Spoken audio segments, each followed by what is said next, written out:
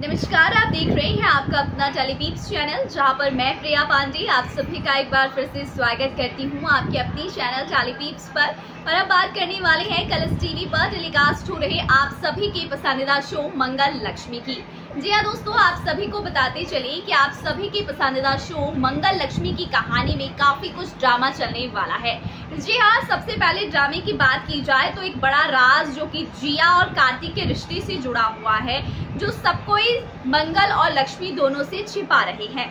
तो अब आगे आने वाली ट्रैक में आप लोग यही देखेंगे कि कैसे शादी के दिन हमारी लक्ष्मी और कार्तिक की शादी के दिन मंगल के सामने जिया और कार्तिक के रिश्ते का सच आ जाएगा। मगर तब तक काफ़ी देरी हो चुकी होगी क्योंकि लक्ष्मी और कार्तिक शादी के बंधन में बन चुके होंगे।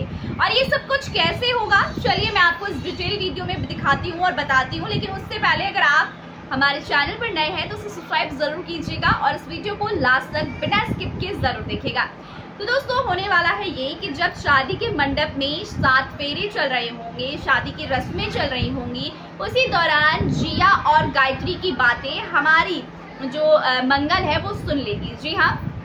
जिया गायत्री और कुसुम।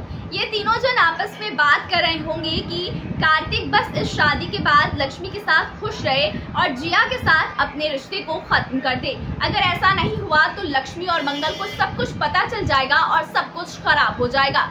ऐसे में अब देखना ये दिलचस्प होगा कि जब मंगल को ये सारा सच पता चल चुका है तो मंगल किस तरीके से लक्ष्मी और कार्तिक के रिश्ते को सुधारेगी? क्योंकि शुरू से ही जो हमारी मंगल है, वो नहीं चाहती थी कि लक्ष्मी को साथ जो है ऐसा भी कुछ हो।